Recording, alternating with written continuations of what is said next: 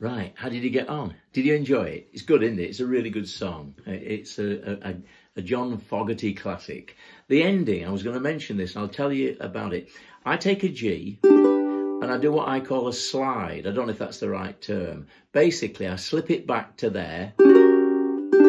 Okay? It's good, isn't it?